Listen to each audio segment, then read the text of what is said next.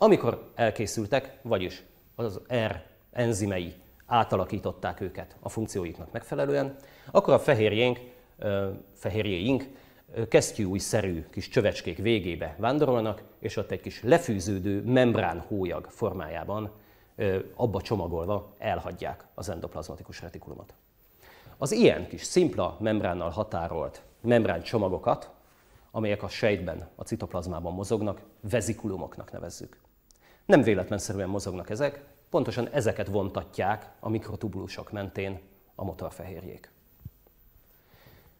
A kis vezikulumba csomagolt fehérjénk most egy másik sejtalkotó, az úgynevezett Golgi készülék felé veszi az irányt.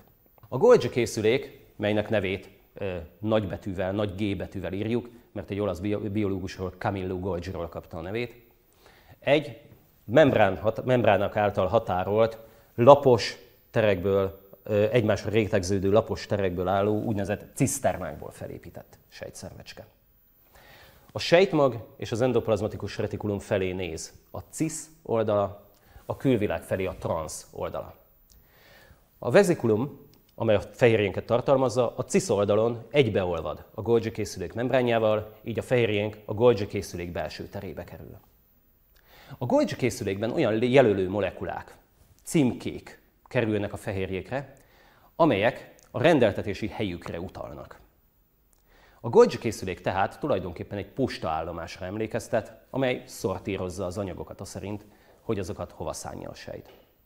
A legtöbb működő fehérje az egy úgynevezett glikoziláción esik át az endoplazmás retikulumba, vagyis egy elég érdekes, elágazó cukor molekulákból álló fácska kerül ezekre a fehérjékre.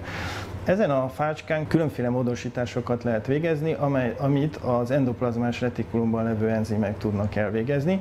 Végül is egy-egy ilyen enzim fogja meghatározni a fehérjének a végleges úti célját, ugyanis a módosítást azt receptorok érzékelni tudják a Golgi készüléken belül. A cis oldalról a trans oldal felé haladva, ciszternáról ciszternára a fehérjénk lassan elkészül, és amikor már teljesen érett állapotban van, egy Golgi vezikulum formájában lefűződik a Golgi készülékről, és elindul rendeltetési helye felé. Ha a rendeltetési helye a külvilág, akkor a Golgi vezikulum elmegy egészen a sejtmembránig, azzal összeolvad, és így a fehérjénk tulajdonképpen egyszerű exocitózissal a külvilágba kerül, ahova szánta a sejt, és ott működésbe lép. Ha azonban az endoplazmatikus retikulum, illetve a Golgi készülék membránjához kapcsolódott belülről, akkor ide kifordulva is membrán kötött állapotban marad, és egy külső oldali perifériás membrán fehérje lesz belőle. Vannak azonban Golgi vezikulumok, amelyek nem ürülnek ki a sejtből, Ilyen például a lizoszóma, amely emésztőenzimeket tartalmaz. A lizoszóma a fakozitózissal létrejött táplálék szemcsét tartalmazó fagoszómával összeolvadva alkotja az emésztő űröcskét. Ebben a lizoszómális enzimek emésztik a fagoszóma által felvett táplálékot. Gondolj bele, ez a fehérje is tulajdonképpen a citoplazmán kívül működik, noha a sejt határain belül. A citoplazma szempontjából az emésztőröcskei belseje is egy kis körülzárt külvilág. Tehát tulajdonképpen az ilyen fehérjék is exportfehérjék.